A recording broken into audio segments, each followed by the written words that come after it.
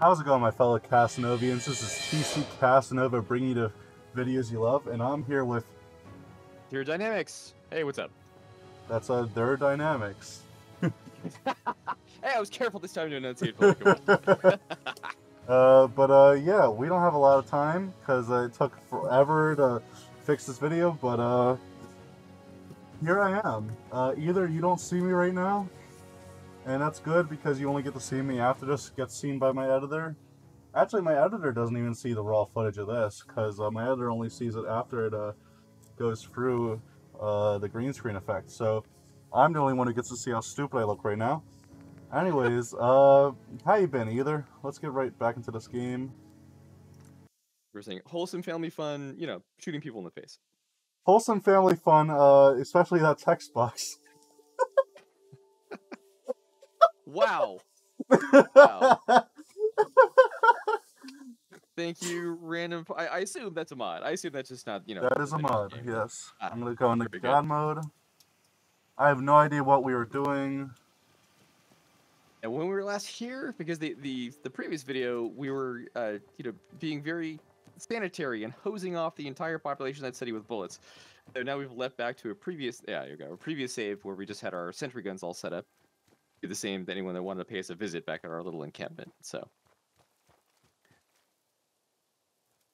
there we go. But we were starting to talk about uh, different types of factions and different behavior and like what was in the game in the vanilla game, what what wasn't, what uh, people have added on through mods. Uh, you know, creepy stuff like there's the Siren Head and other kinds of world events, that kind of thing. which I did having in my horror series, but uh, my one friend is uh extremely busy somehow. Uh, he he's like never able to record. I wanted to do a video of him recently. Oh, I have a problem with my lang with some sort of language thing. That that probably means that a- SKSE is not installed properly or something. Whatever. Uh, not gonna fix that this time. But anyway, my friends has been so busy, uh, Enrique, calling you out. Sorry that you have to hear that Ether. Like the uh, the dangers of being friends with a comedian, right? Like if you give them too much shit, they're like, okay, the next show, yeah, yeah, this is going in, this is going in. What the That fuck? This is that too. I was just gonna say this is that too quiet thing, a little too quiet. And now there's just uh that is extremely creepy. Oh, it's already super dead. Somehow the skeleton didn't. Uh... Let's see if we I can find someone who's. I kind of don't want to take my eyes off of it. it's like an angel statue. That is, yeah, okay. Verified, the most dead. Well, it's clean now. uh, what is what? Okay, where where where do I want to go? Let's uh. Oop, what is this? Let's fast travel.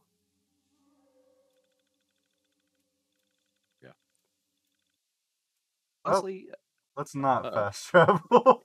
oh, hey, uh, welcome to my uh my uh oops it crashed world. You can get to see that image.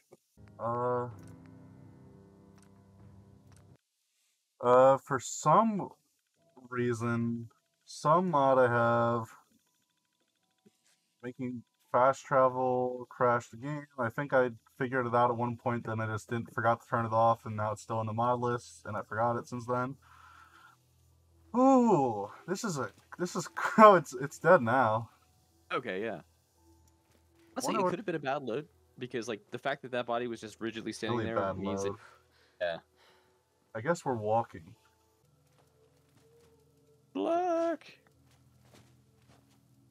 If I can't fast travel one way, I'll fast travel another way. That's how majestic majestic this looks. right. Uh, Did you actually tweak the uh, the loaded cell parameter to be bigger in your game? That that might help a little bit, believe it or not. Know what that is? You're speaking magic Okay. talk, man. If you want to get into it later, there's a way to change the number of cells that are loaded in like high def uh, when you're in the overworld at any given time. And uh, but the danger is that happens. I think the I think what actually is the problem is not the fast travel. I think it's crashing upon loading into that area. Here we go. Oh. Here's where we are last. Remember, we had this going on. Hey, Ned. yeah, we had that going on. Lovely. You just eat the entire populace in bullets. I mean, maybe they forgot. Maybe this was right before that happened. You're not trying to, you're not trying to murder you like last time. I guess we're following dog meat. Oh, quest progress? We're actually going somewhere? That's what that's the power of turning off all your mods. I guess we should like talk a little bit about the dynamics of Squizzard. We have not touched that in a long ass time. Yeah, it's been a bit. It has been a while. I I've, I have series three and four the major plot points in my head. I'm not gonna spoil Ooh. them. Mm-hmm.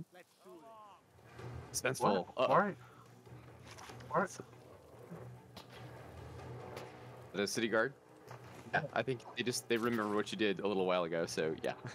He doesn't want to be with me anymore because he's opened fire on them. Ah, I didn't do anything. Uh. You shot them, buddy. Uh, but yeah, I'd, I'd love to get back into the dynamics of Squizzard. I don't know if you have uh, a brand new curated mod list you want to go through. I know there are several uh, of the like the Wabbajack and the mod collections that have come out recently. You Can help with uh, I do have lists in mind for mods. Oh my god.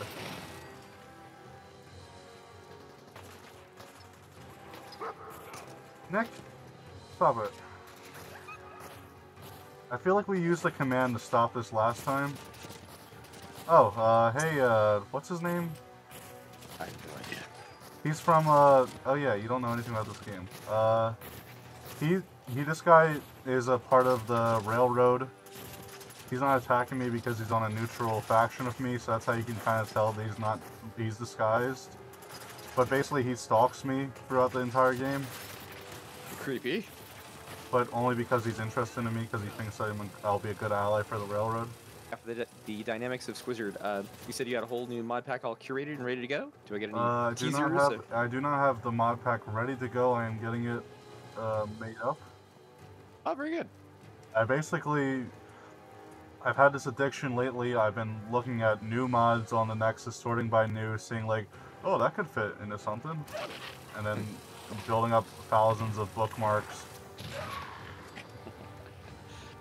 As as we'll typically do, right? Honestly, the The, the modding community mods- has got more interesting lately.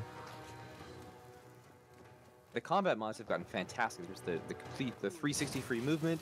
There's the Sekiro combat. Uh, I'm really impressed by the whole spread of of uh, the combat mods and the animations. Like really, people have gone nuts recently over you know over the, all the time people have during COVID.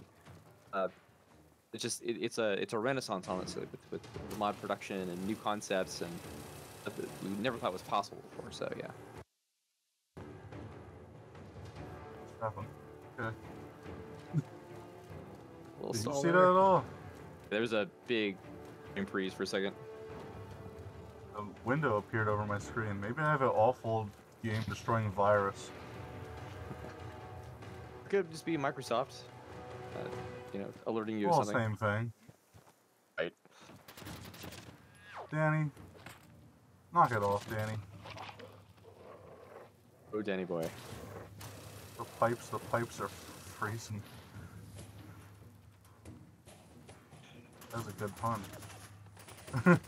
Why is he frozen solid? That's Weirdest cool. thing. There you go. I'm only trying to freeze him. I didn't know that was a feature though. He just kind of fell over frozen. Did you see that? Yeah. Do, do they have stuff where people shatter? Because I know some mod authors put that together, which was neat and also disturbing in uh, Skyrim, right? Uh, I think maybe. That is a cool mod though. I'm sure. I think it's lip. I think it has a ton of like script lag or something, but it is cool.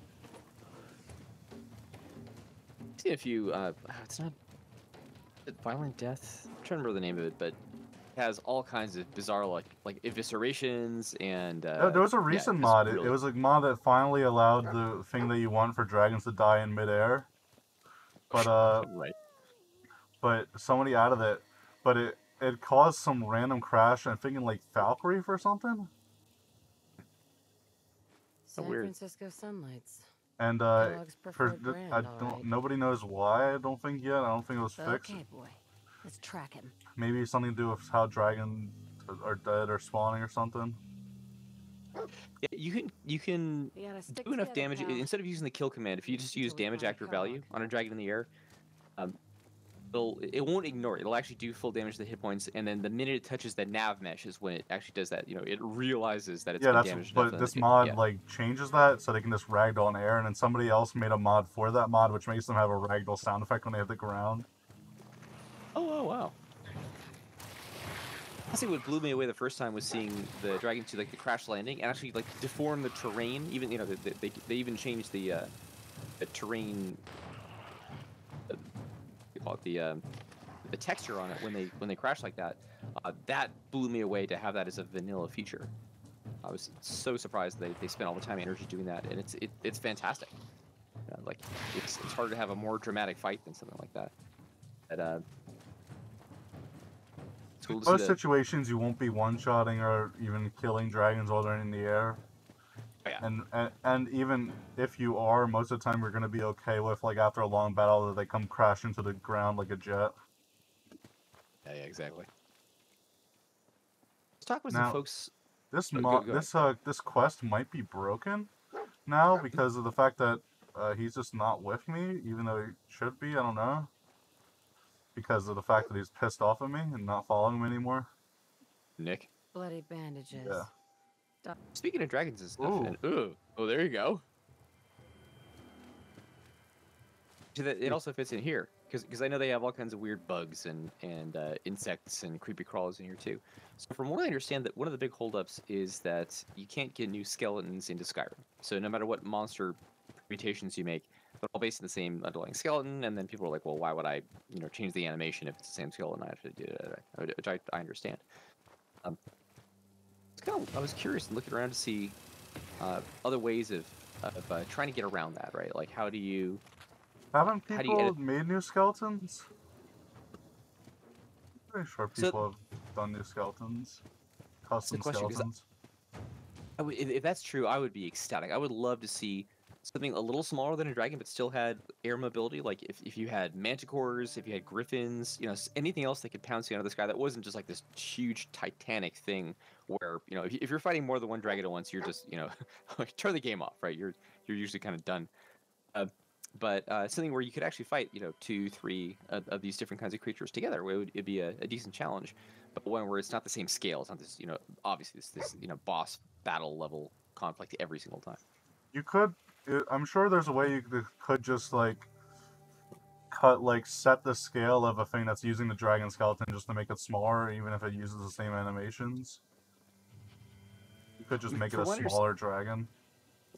I, I- I think that the main problem is the same thing that you you and I have seen when we uh, get a little too creative with the the uh, set scale is that beyond a certain point the collision just completely messes up and and given how it's like touchy uh, the physics engine in here is for a lot of things that really does cause a lot of problems uh, easily because it's One of his creature comforts. Kellogg's still out there. Um, We've got to track him, boy. What do you think, boy? so yeah uh, to go on? it, it's a question of like um, how easy is it then to uh, make a custom copy of all that, including the collision boxes, and then scale them rather than just using the set scale command, uh, doing some kind of scaling on the back end, so things don't get all weird and janky when you when you yeah to the, same way that you do if you just turn the slider up and down in the end. It's supposed to do it right, but never quite does. When you think things are working right in the creation engine, it, it's kind of like walking through a minefield on a peg leg. Because, like, you don't know what's going to go wrong, and you also don't have. What the? Leave my dog alone. But anyway, you don't know what's going to go wrong, and you also don't have the means to go around it because you have a peg leg. that's the first time I've heard that saying. That's uh, that's pretty good. I like it.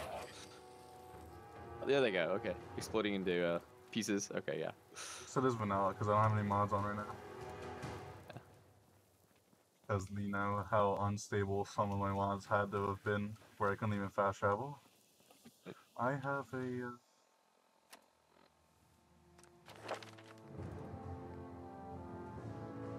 Sure, there's some command to like let you have infinite perk points. I But know in in Skyrim it's uh, How do I go ADV up? skill, like advanced skill. okay, I just have to go up and down that way. I forgot. But where's uh heavy guns? There should be in strength, I think. Or endurance. Uh, heavy guns. Oh wait, uh, I don't have the strength. Okay, I guess I'll level up strength for them. Okay, that works for now.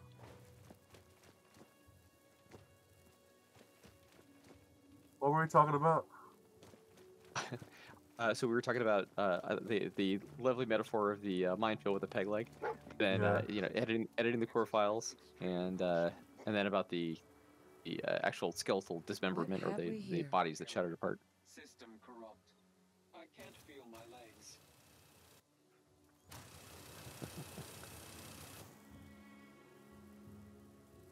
fix him or something or a Soltron? Where's the dialogue? Oh. What? Oh, there's just super mutants. Oh, what the hell? Oh, he has a nuke. This guy's cool. Uh,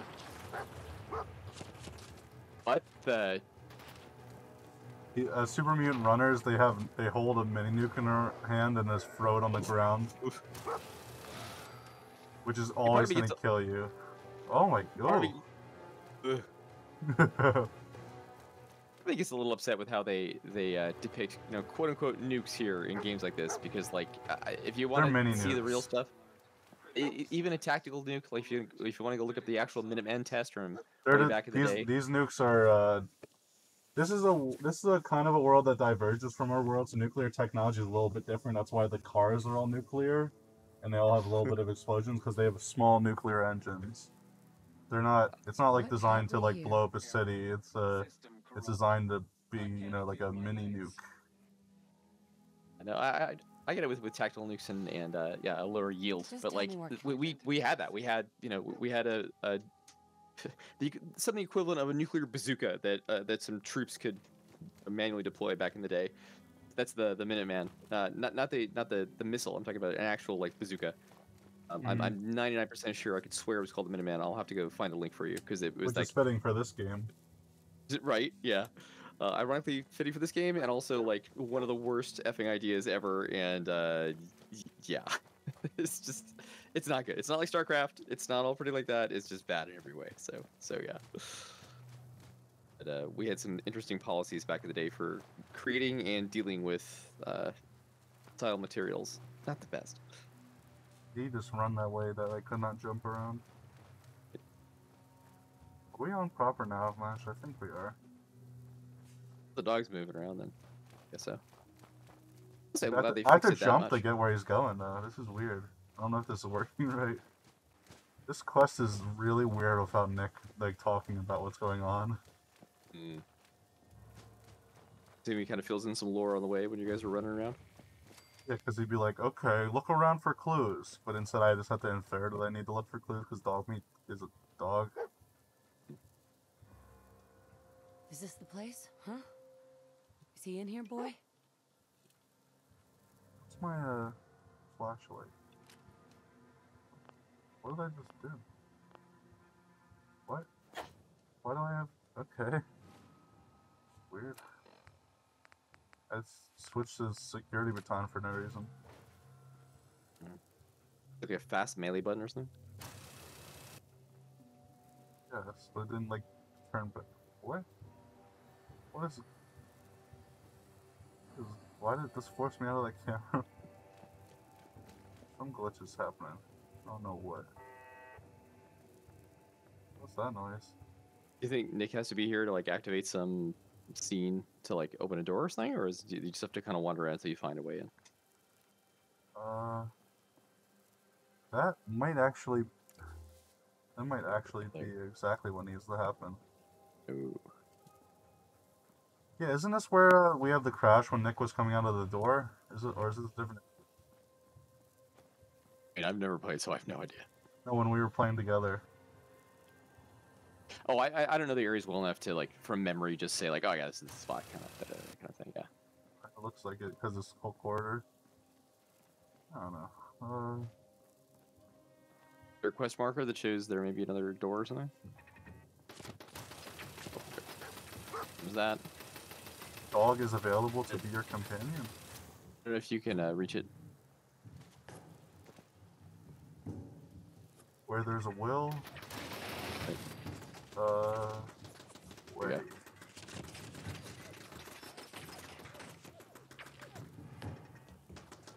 There we go.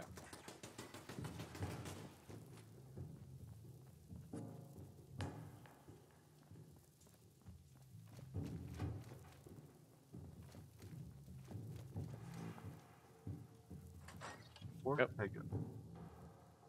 Da- da. Yeah, I think we are figuring this out.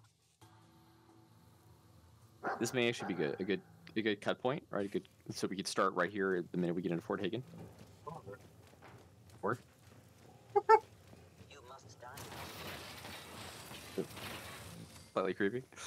Uh, It would have been creepier if what? my mods were on. Okay. Uh, I- I'm glad we got all the uh, the uh, audio settings uh, f- figured out. I know a lot of people have struggled with those in the past, and it's it's a and it's a big a hassle to get set up. time. Right. Good news is it's done. I think you're all set. So um, yeah, I really got to go. I, I got a ton of stuff to do tonight before I get to sleep, and then I got All to do the right. thing tomorrow.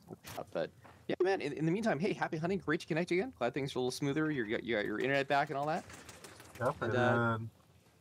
And uh, Right, I figured out this new recorder, so hopefully I'll be recording more new videos. And I have this awful camera, so uh, sorry for making you ha- try to figure out how to make a coherent video out of this editor. Uh, it's a quick save. Oh, And part, part of it is part of it is you, you needed somebody on Discord to be able to test that, right? So I I, I get it. Sometimes it's just like slugging it out through those bugs or those headaches. So yeah. Uh, all right, man. Hey, well, take it easy. Have a good night. I'll catch you soon. uh, see ya. Cheers. Thanks. Uh, if you enjoyed the video, don't forget to subscribe, and I'll uh, see you in the next video. Goodbye. Love is a burning thing, and it makes a fiery ring. Bound by wild desire, I fell into a ring of fire.